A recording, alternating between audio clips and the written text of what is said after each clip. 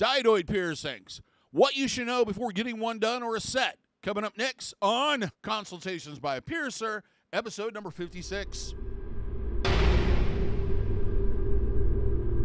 For those who are new here, welcome to the Body Piercing and Tattooing channel. Hope you're enjoying the videos. Hope you're finding them helpful and useful. Um, and my name is Davo. I'm a professional body piercer and have been since 1994. I own and I operate the Axiom Body Piercing Studio as I have for going on 30 or over 30 years now, and located inside Skin Kitchen Tattoo here in the lovely city of Des Moines. Before we get too far into this, I, I like to do a disclosure. I'm going to be talking about a piercing that is done in the penis area of the anatomy. If you live in a part of the world, or you're not the correct age, or you simply uh, are easily offended by talking about such things, or what have you, um, this is not the video for you. There are plenty of videos that have nothing to do with genital piercings or piercings of a sexual nature in any way, shape, or form on our channel. Um, there's literally over a thousand of them. Uh, I would suggest you watch one of those. If you're here looking for something that's going to be tantalizing, you're going to be disappointed. The sole purpose of this video is education. That's all I'm going to be talking about for the most part, pretty much all. Uh, for those that are considering the piercing, um, their partners, or somebody that wants to learn and expand their knowledge about body piercing. Now let's talk about what this piercing is. It is a piercing that is done through the glands of the penis, usually towards the top. If you look at uh, the glands, they have almost a vertical like edge and then they kind of curve downward, kind of like a ramp, if you want to look at it that way. The more that ramp is pronounced, the better you are as far as a candidate for these particular piercings. Um, it's done through that, um, through the almost like a surface to surface piercing with a curved barbell. Now let's talk about healing time and etc. Average healing time in these usually about six to eight weeks, but I suggest treating them like a healing piercing for a minimum of three months. That will involve cleaning twice daily, uh, using a sterile saline solution. Personally, I like NeilMed's Piercing Aftercare. Uh, it's my brand of choice and what we stock here in the studio and sell to our clients. Um, you can find comparable stuff uh, at most good department stores, drug stores, pharmacies, etc. The main thing you want to look for is that it does it is in a metal can, an aerosol style can. Uh, when you turn it over and look at the ingredients, there should be only two: water and sodium chloride, aka salt. There should be nothing else in there, no preservatives, no additives. If it does, that's not the product for you. Now, uh, the next thing we want to talk about is how the, the saline is delivered. If it's the style that uh, the body piercing aftercare version, uh, it comes out in a fine mist. Uh, the nozzle just sprays out very fine mist. So you just spray it directly onto the piercing, let it stay in contact for about five minutes, rinse if you'd like, or pat dry. If it comes out like a squirt gun, where you can hit somebody at 50 paces with that stuff, it's like a Super Soaker uh, that's not going to feel very good and be kind of wasteful to spray that stuff on there, though it probably be very effective at what we want it to do. Um, generally, with that, it might not be comfortable though. Uh, what I suggest doing is compresses. Take a clean, sterile piece of gauze sponge, or you can get away with using a clean paper towel. Just make sure that that roll is not used for anything else. Uh, fold it up, spray the till it's damp, laid against the area for roughly about five minutes, doing a cold compress um, and then pat dry or rinse. You want to do this part twice daily during the whole healing process. The other thing I suggest doing is the end of your shower, uh, basically uh, put the, uh, well, pull the area out or, you know, aim it so the water flows over the area for about 30 seconds. So you're rinsing off the area. We want to do this for a couple different reasons. Uh, depending on what type of uh, hygiene product or soap you're using, we want to make sure that doesn't get in the piercing.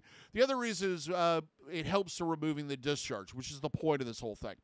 With the saline and in the shower, what we're trying to do is remove the discharge, that crusty stuff that hardens and collects on the jewelry. The reason we want it off is when it shifts and moves, it can agitate the piercing, which can lead to problems. The other thing, it, uh, we want to make sure that it's comfortable because that sliding back and forth and against that discharge can be very uncomfortable, especially when it's pulling away. It'll feel like you're pulling off a scab every time it does that.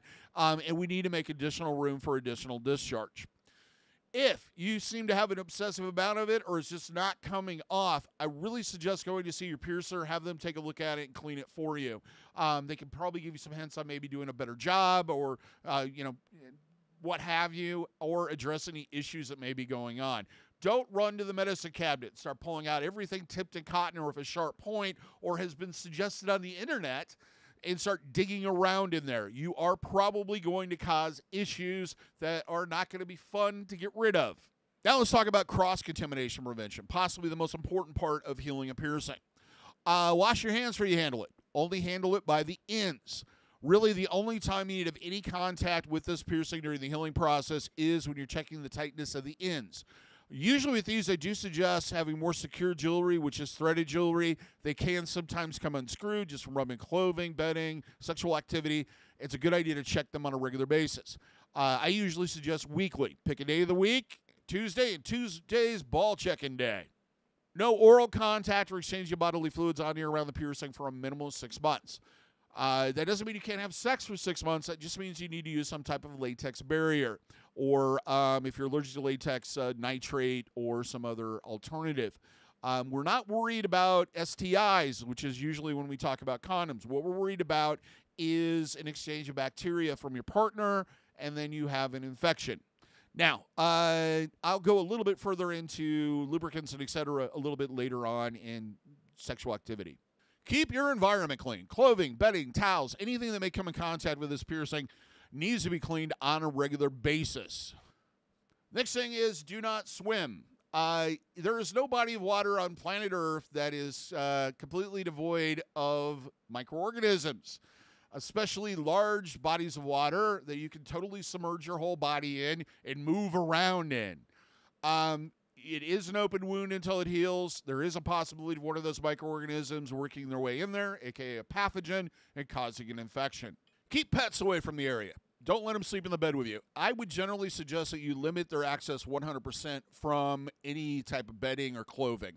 Uh, they tend to carry a lot of fungi and other things and bacteria and etc. on their fur. It's easy for that to transfer, and then you have an infection when it comes in contact with the piercing. Now, common question how long does this take to heal? I usually suggest, uh, on average, about six to eight weeks. If you're sexually active, which most people are, I would suggest waiting, uh, considering it a healing piercing for a minimum of three months. When it heals, it will stop producing discharge. The piercings will grow kind of inward, um, kind of concave, and the jewelry will move freely. Whenever in doubt of whether or not a piercing is healed, go see your piercer, have them take a look at it, and let them make an educated decision on whether or not they think it's healed or not. Trauma, clothing, and abuse. Avoid constrictive or abrasive clothing. Anything that rubs against the jewelry or the jewelry might get caught on. Um, kind of loose fitting but still comfortable uh, clothing is best, especially during that initial tender phase of the first week or so. Do not sleep on the piercing. Make sure you're sleeping on your side or your back. That contact with the bedding when you're asleep, you move around a lot more than you think you do, can cause issues. Do not spin, rotate, or move the jewelry. I don't care what that person at the mall told you when you got your ears pierced back in 1981. Do not spin the jewelry. Generally, avoid contact with the piercing as much as possible. Um, the more abuse, the more likely you are to see problems. And with this piercing, rejection is an issue. And the more contact that piercing has, the more likely that is going to happen bleeding. This piercing has been known to bleed off and on for about three to five days, during which time I generally suggest wearing a sanitary napkin or pad. This is going to do a couple different things. It's going to avoid the possibility of staining clothing. It's also going to add a little bit of cushioning during that tender phase and cuts down on the amount of moisture in the area. Another uh, hint is get puppy pads. Uh, if you sleep with the puppy pad underneath you, it's going to cut down the likelihood of staining sheets and staining bedding. Now let's talk about risks. This piercing has a risk or a known reputation of rejection. I have to say that I've had very good luck with this. I would uh, roughly estimate out of uh, 10 out of the hundreds that I've done, say one out of 10 will reject, maybe less. Uh, it really comes down to you having the correct anatomy to support the piercing and also uh, limiting contact as much as possible. I, the problem is is that usually these are done in sets, one on each side, and usually one is fine, and then the other one will start migrating or rejecting. So that is a risk with this piercing, and you should know that going in. STIs or STDs. I think they're the same thing, but we just changed what they're called now. I don't know. Um, you are at a higher risk of contracting them even after the piercing heals. Uh, you have metal through soft tissue. There's a possibility during sexual activity that you can cause a tear, and then you have an exchange of bacteria. So, in other words, whenever switching partners, practice safe sex the way, way you're supposed to, which means latex barriers, get tested, all that fun stuff that helps us to continue to be alive. Closure. This piercing is notorious with the idea that if you take the jewelry out, it closes very quickly. It's a longer piercing, it's very dense tissue. It's not uncommon to leave these out for a few hours and have problems getting them back in. It's a good idea only to take the jewelry out to replace it. And for uh, those people out there that are uncut, there really needs to be enough room. Uh, you have to have a looser foreskin for the jewelry. Otherwise, that pressure is not going to feel very comfortable. There's also the problem of it kind of agitate the jewelry agitating the inside of the foreskin, which is very sensitive tissue. Um, and uh, it could possibly lead to the piercing kind of migrating out of alignment or rejecting. Now let's talk about everybody's favorite subject sex. Um, gentle at first. Uh, if it hurts to do something, take a break, try something else, whatever's going to work. Um, listen to your body, basically. Uh, over time, that'll go away and it'll feel weirder to have it off out than to have it in, to be honest with you, the jewelry. Latex or some type of barrier for a minimum of six months.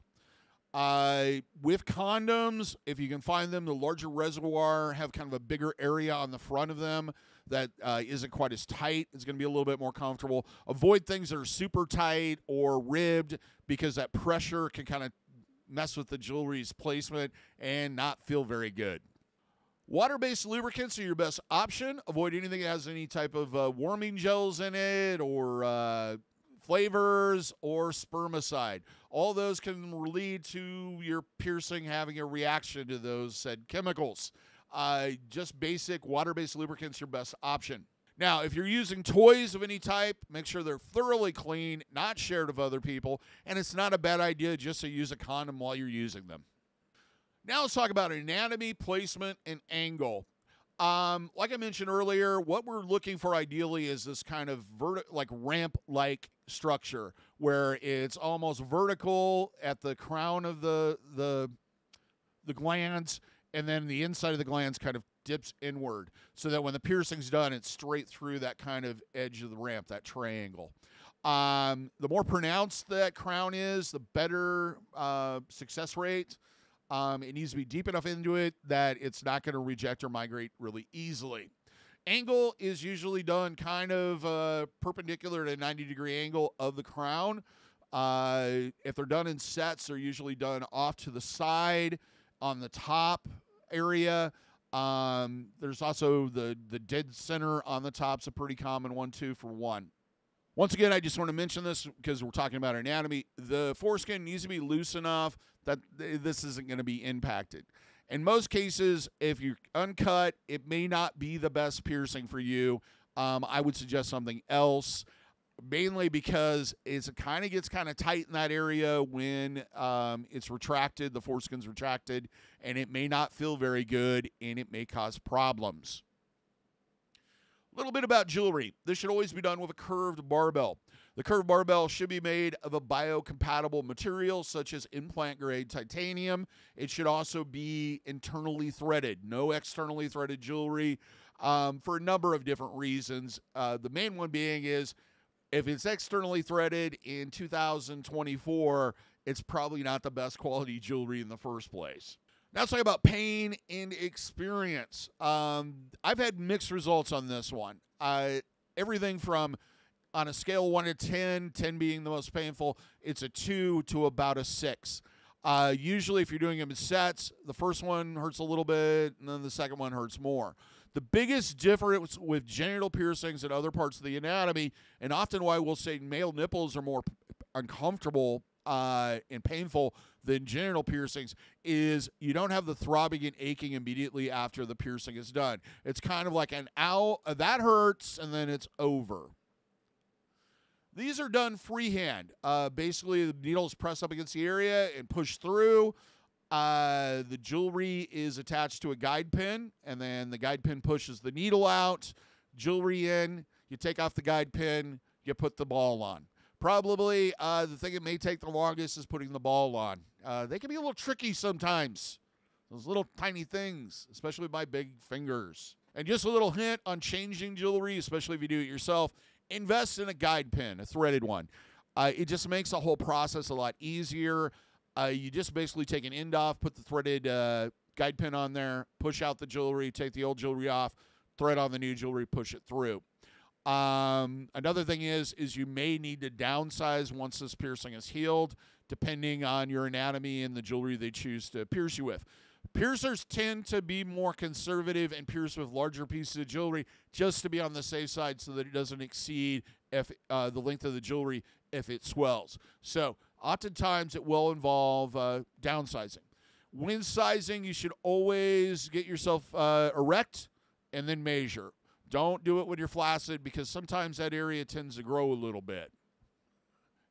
Afterwards, there might be a little bit of slight bleeding, usually kind of right on the surface around the piercing holes. Lasts a few minutes, not anything you need to worry about. Um, generally, what I'll do is put a piece of gauze over the area and then uh, take a glove and put that over it and use rubber bands to hold it in place until you can get somewhere to get a pad or uh, where you're not going to worry about it bleeding if it stains clothing or what have you. Uh, you might have a little bit of slight uh, ache and pain, tenderness of touch off and on. Um, the tenderness of touch lasts with this one about week to two weeks. Uh, if you bump it, you're going to know what kind of situation. For the most part, most people's most common reaction after getting it done is, I don't feel it. Now, let's talk about what to consider before getting the piercing done. Sometimes these piercings will bleed a little bit more than others. Everybody's a little bit different, so you should prepare in advance for that. Wear clothing that you're not worried about getting stained, that's easy to remove and put back on, uh, especially shoes. If you end up having to take your shoes off, wear wear your Vans slip-ons or clogs or sandals or you know something that's easy to get off. Don't wear the 22 hole Docs. You're going to be here a while kind of situation. Um, also, uh, it's not a bad idea to buy pads in advance. You can't sleep on this piercing. If you're a stomach sleeper or you sleep with uh, your penis in contact with something, I would kind of try to train yourself a few months beforehand to sleep on your side or your back where there's no contact with the area. Um, it's easier. It's it just takes one more stress level out of the situation. Plus, getting a good night's sleep, being well rested, healthy, stress free means faster healing. Next one, talk to your partner. If you are in a committed relationship and considering getting this piercing done, it's a good idea to sit down with your partner and just discuss what it's going to take to heal it, how this may affect uh, your sex life, etc., before you get it done. Um, I don't advise getting this done as a surprise, um, especially leading up to a romantic weekend, because you're not going to want to have fun times. So unless your fun weekend, romantic weekend is going to, you know, involve just a lot of heavy petting and hand holding, it's probably not the best thing to do this the night before. Uh, if you do have something like that coming up and you're thinking about getting the piercing and maybe maybe the person's out of the country or out of town for like three or four months, um, plan ahead. Make sure that it's going to be close to healing or healed by the time they get back.